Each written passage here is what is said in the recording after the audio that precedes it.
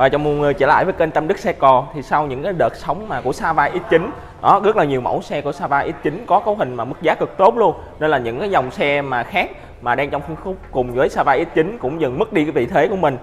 Trong khi đó thì Sava G2 vẫn là một cái mẫu xe mà em nghĩ là vị thế vẫn đứng nguyên luôn. Thì con này cũng là thuộc cái dòng của Sava nha, anh chị cũng là thương hiệu Sava Sava G2 thì con này em cũng đã lên rất là nhiều video thì em cũng giữ nguyên quan điểm của mình. Đây là một con xe mà có mức giá và có một cái cấu hình cực kỳ là tốt. Thì em xin báo giá luôn. Con này có giá là 43 triệu. Thì với cái 43 triệu này con này có cấu hình như thế nào thì anh chị cùng em tìm hiểu trong video này.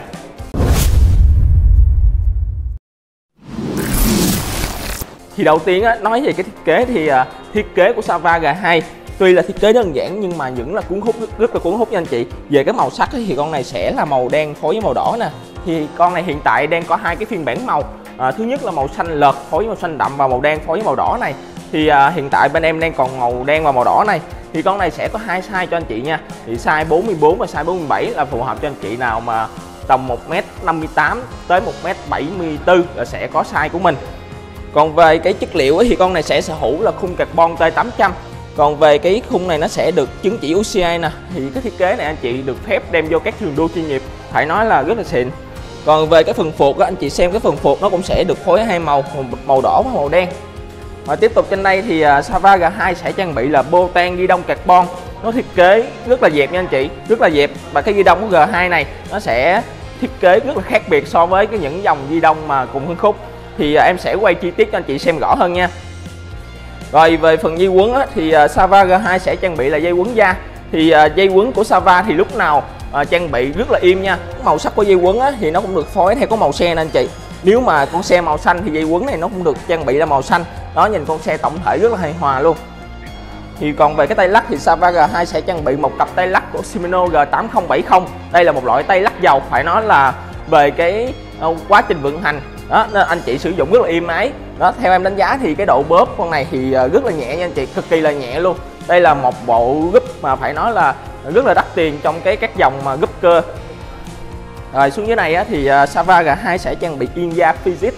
Đây là một loại yên cực kỳ xịn luôn. Anh chị nào mà chơi những con xe đạp mà cao cấp đắt tiền một tí á, thì sẽ thường thấy những cái loại yên này trên những con xe.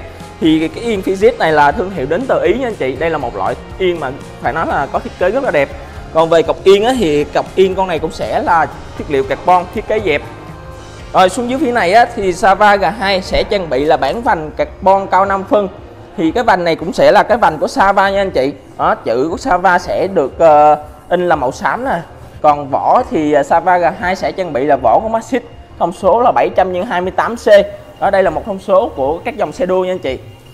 Còn nói về cái đùm thì ờ, Sava G2 sẽ trang bị là đùm chính hãng của simno thì cái đầm Shimano thường người ta chú trọng về cái độ chớn hơn là cái cối nổ. Bây giờ em sẽ quay thử cái độ chớn cho anh chị xem nha.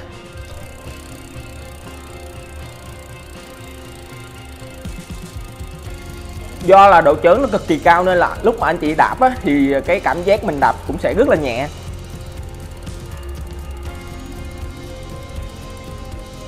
Rồi còn về cái ngàm thắng thì à, Savaga 2 sẽ trang bị ngàm thắng dầu của Shimano Utega G8070 đây là một loại loại ngầm dầu. Mà phải nói là nếu mà anh chị mua lẻ thì giá thành nó rất là cao. Còn với cái bản 2023 này, Sava G2 cũng trang bị luôn là cặp đĩa thả của Shimano nha anh chị. Đó, thì cái bản cũ nó trang bị là đĩa thường.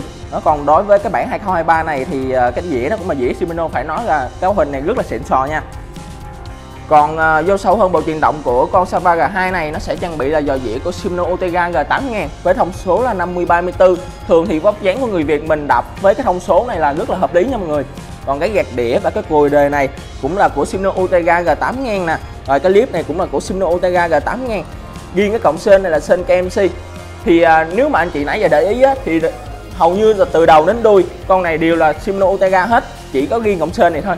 Đó, từ uh, dĩa từ đùm thì những cái món này nào cũng là điều của Simno hết phải nói là rất là xịn luôn cấu hình cực kỳ là xịn ngoài cái trừ cộng sên này. Nhưng mà sên của cây MC thì em đánh giá cũng rất là ngon nha. Anh nếu mà anh chị muốn thay thì hầu như là con này full bộ nhưng mà theo em đánh giá thì anh dự anh chị giữ nguyên cái cộng sên này à, trải nghiệm vẫn rất là tốt do là sên cây MC cũng cực kỳ là chất lượng. Rồi em xin ờ, báo giá lại thì con này có mức giá là 43 triệu. Hiện tại thì cái con này hiện tại bên em đang có sẵn màu đen đỏ nè Có đủ size 44 và size 47 nên là anh chị nào quan tâm thì có thể liên hệ tới em để em có thể tư vấn về size về màu cho anh chị. Còn video này em xin kết thúc tại đây nha. À, em mong video này sẽ giúp ích được cho anh chị phần nào trong việc chọn xe cũng như là tìm được nhu cầu chọn xe của mình. Còn bây giờ thì tạm biệt anh chị.